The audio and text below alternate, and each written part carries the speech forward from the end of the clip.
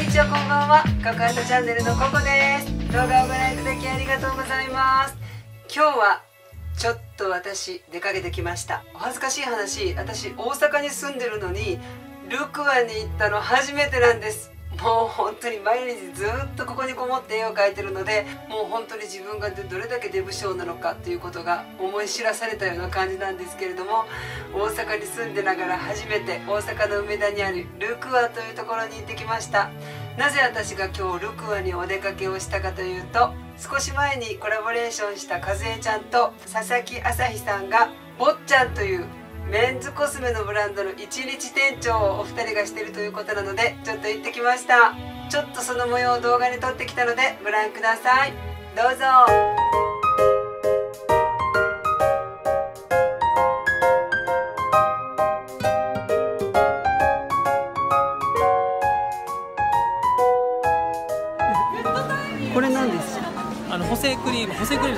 毛穴とか男性用で？そうそう男性用の毛穴とかテカリをじゃあ男性 YouTuber にいいじゃないですいいか僕使ってるあの撮影前とか。あのここテカるの嫌やから。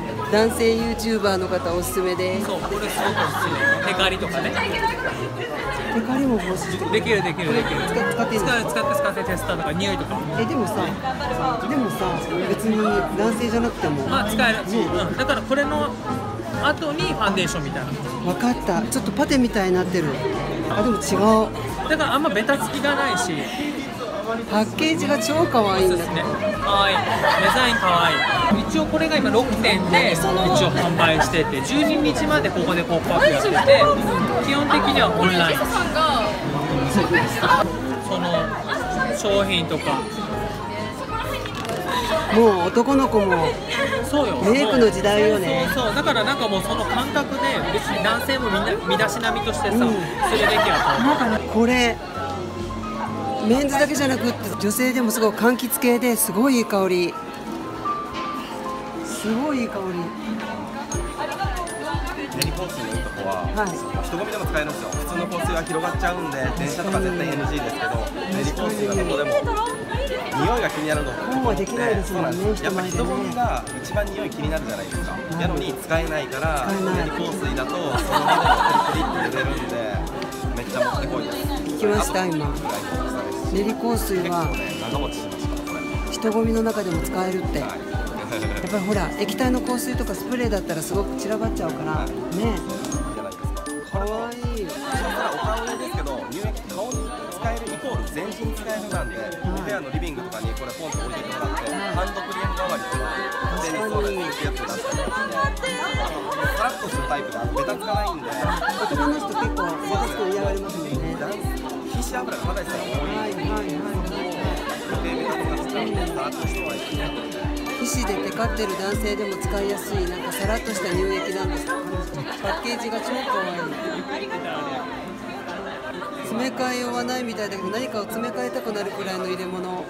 これ洗顔だそうです。香りはあるんですか？香りも近いこれの優しい香りが若干ベースになってるんで。ベースはこの練り香水なんだ。そうです。爽やかな。使っててシトラス柑橘系のシトラスの香りだそうです。でも全然女性にもはい。ねこの洗顔のいいところはあのクレンザー洗顔料ってなってるんですは軽くクレンジング機能もあるんであの BB クリームだとかじゃあこういうものとか。薄いそうですそうです。が落とせるようになってるんですよこの洗顔で。いさっきの下地とかもあるのでこういうものが落とせるちょっとクレンジング機能のある洗顔だそうです。なんですけどきつくないです。優しい感じにへ書いてるんですか、嘘、すごい。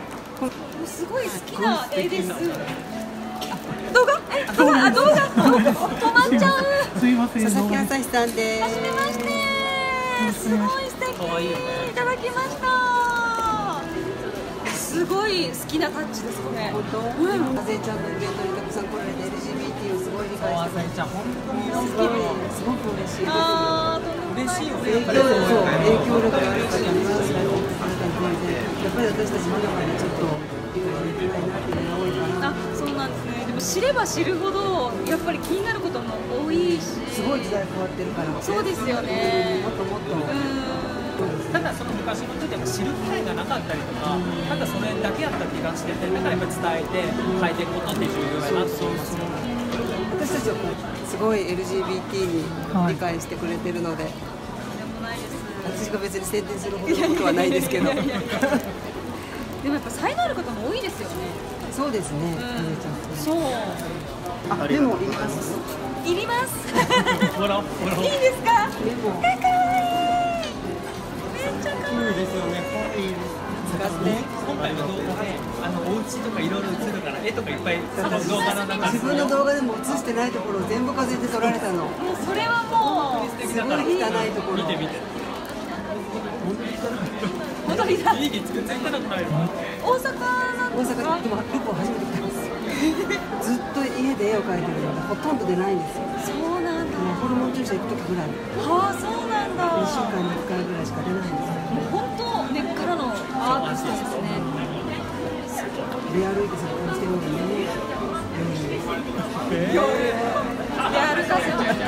集中してやってあうん、かずえちゃんと佐々木あさんでした。ありがとうございましたりがとうございました。かずえちゃんに会いました。みんな坊ちゃん買ってね。みんな坊ちゃん買ってください。ありがとうございましたじゃありがとうございまはい宣伝してきす。またちょっと会いましょう。はいぜひあの、風第二章始まります。普通にまた遊びに行く。はい頑張る。楽しいことしよう。はい楽しまないと本当にそれ。かずえちゃんに会ってそれすごい感じたありがとうございますありがとう。はい、いかがだったでしょうか？すごいおしゃれなブランドでしょ？パッケージとかデザインにこだわっててメンズコスメを意識してるのでちょっとスタイリッシュなかっこいいデザインだったと思うんですけれどもパッケージもアーティストがデザインしてるということで本当に素敵なブランドでした。かずえちゃんと会うのは2回目で佐々木あさひちゃんとは初めてお会いするんですけれども YouTuber の人って本当当に純粋にクリエイターで本当に素敵な人が多いなって思いました。佐々木あさひちゃんは私ともう10歳以上も全然年が違うんですけれども本当にしっかりしていて感性も豊かで好奇心が旺盛で動画の映ってないところでもたくさんお話ししたんですけれども LGBT の話もすごい熱心に聞いてくれて和江ちゃんが福井とかで LGBT のイベントをする時には駆けつけたり本当に本気で LGBT の理解も広めたいっていう風な感じでおっしゃってくれてて時には私のエピソードなんかをお話ししてる時に私の方が悔しくなるって涙ぐんでくれるようなそんな場面もあったりして本当に心のあったかいいい人でした。さすが大物 YouTuber ということで次から次に視聴者さんが来て一緒に写真撮ったりしてました。和江ちゃんにも本当にいろいろな人が会いに来てたんですけれども和江ちゃんも丁寧に丁寧に対応してて本当にすごいなって。和江ちゃんは本当に YouTuber として以前からその坊ちゃんというブランドとタイアップしていろんな動画を作ったりとか一日店長したりいろいろイベントでやってらっしゃるんですけど和江ちゃんの美の秘訣が分かったかなみたいな。そしてコスメの一つ一つもそんなにお高くなくて手頃な価格で品質にもこだわってて本当におすすめでした。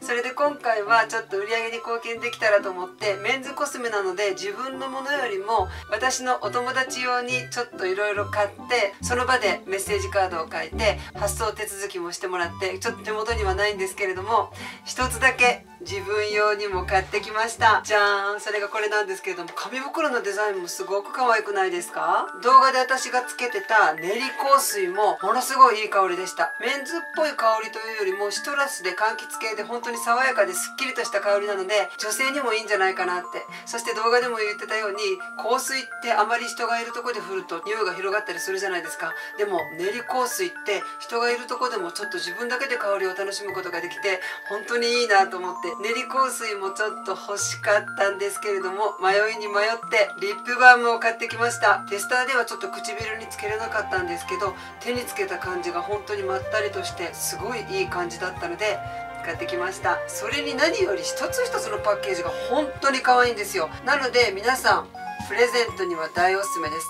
いただいた方がワクワクするようなそんなパッケージのデザインなのでぜひ下の説明欄に坊ちゃんのサイトのアドレスも貼っておきますしいろいろリンクを貼っておきますのでよかったら皆さんもいかがでしょうか？パッケージの箱も可愛いんですけれどもなんとリップバームカンカンになってるんです。すごくちっちゃなカンカンになってるんです。いかがでしょうか？わかりますか？すごくちっちゃなカンカンなんですけどデザインがすごく可愛くないですか？蓋の部分がこのデザインで側面がこういうデザインなんです。側面に「坊ちゃん」と書いてるんですけれどもメンズコスメで「坊ちゃん」なんかなんかすごくおしゃれでいいですよね。可愛い。リップバームの方はそんなにきつい香りも香料も入ってない感じでほんのりココナッツオイルの香りがする感じです。指を押さえるとじわーっと体温で柔らかくなるんですね。そして唇につける感じなんですけれどもちょっと私今口紅をつけてる上からやってるんですけれどもそれでも本当に潤う感じでこれは大おすすめです。女性の方にもいかがでしょうか？パッケージが可愛いのでデザイン重視の方是非いかがでしょうか？他にも動画で紹介してたいろいろなものがあるので是非この坊ちゃん興味が出た方は下の説明欄にいろいろリンクを貼っておくので皆さんもいかがでしょうか？ということで和江ちゃんに会いに行ってそして和江ちゃんつながりで大物 YouTuber の佐々木朝日さんともつながれました。本当に和江ちゃんともそうなんですけれども佐々木朝日さんとも共通して思ったのは向上心も本当にあるし本当に心の奥底にあるものがクリアなんですね。